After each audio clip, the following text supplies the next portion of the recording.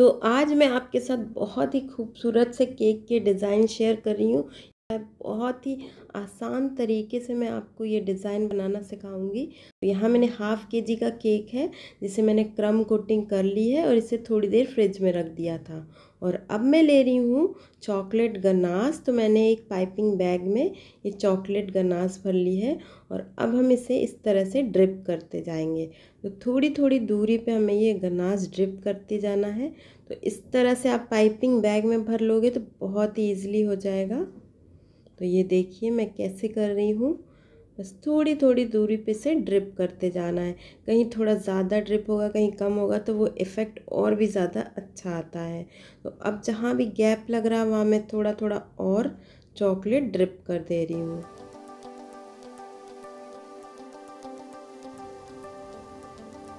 ये देखिए।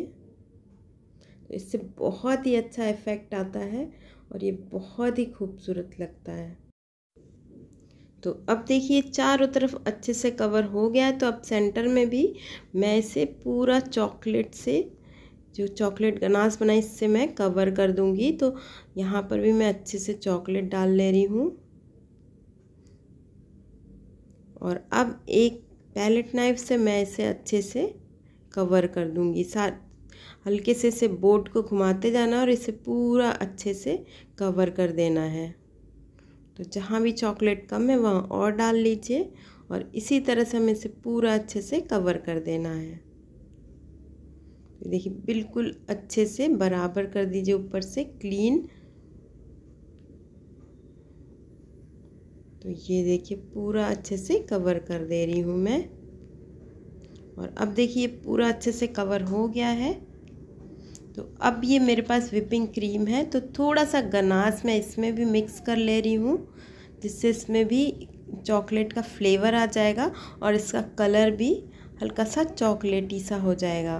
तो इसे अच्छे से मिक्स कर लीजिए।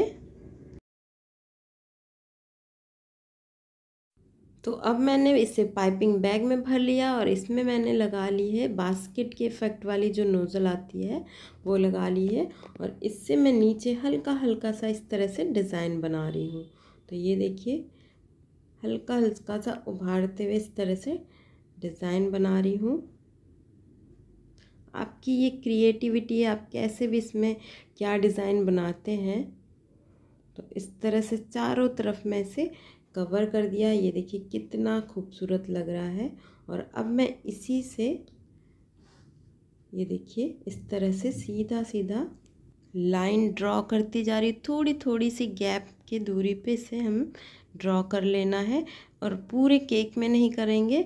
और अब मैं इसे घुमा दिया है और दूसरी तरफ़ से इसमें छोटे छोटे से, देखिए मैं कैसे बना रही छोटा छोटा सा लाइन इसमें ड्रॉ कर लेनी है।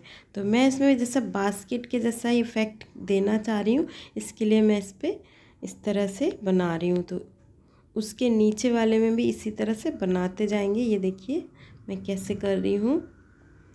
ये देखिए तो इसी तरह से मैंने पूरे हाफ़ केक को ऐसे कवर कर दिया है। और अब मैंने वाइट कलर की विपिंग क्रीम ले ली है और इसमें मैंने स्टार नोज़ल लगा लिया है और इसे छोटे छोटे से राउंड बनाते जाऊँगी। बाकी के हाफ़ जो बचा हुआ है केक हमें इसे इस तरह से कवर कर देना है। तो ये बहुत ही खूबसूरत सा लुक आता है इसका। तो वाइट और लाइट ब्राउन कलर का कॉम्बिनेशन बहुत ही अच्छा दिखेगा। तो ये देखिए कितना खूबसूरत लग रहा है और मैंने बाकी के हाफ़ को इस तरह से कवर कर दिया है। तो ये देखिए, और अब इसमें मैं थोड़ा सा कलर ऐड करने के लिए थोड़े से स्प्रिंकल डाल रही हूँ।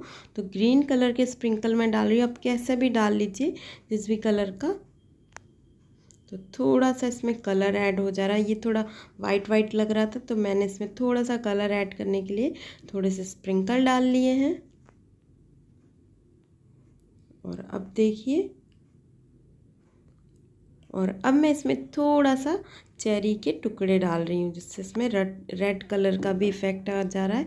उससे और भी ज़्यादा ये खूबसूरत लग रहा है। और फाइनली ये देखिए मेरा केक हो गया है रेडी तो बहुत ही आसान से, बहुत ही इजी तरीके से ये केक बन के रेडी हो जाता है। और देखिए कितना खूबसूरत ये केक बन के रेडी हो गया है। बहुत ही खूबसूरत केक बना है। तो आप किसी के भी बर्थडे हो एनिवर्सरी हो, आप ये केक बनाइए, इसे बहुत पसंद आएगा। तो अब मैं आपको इसे कट करके भी दिखा रही हूँ इसमें अंदर भी कितनी अच्छी लेयरिंग आई है, ये देखिए। तो आप ज़रूर ट्राई करिएगा ये डिज़ाइन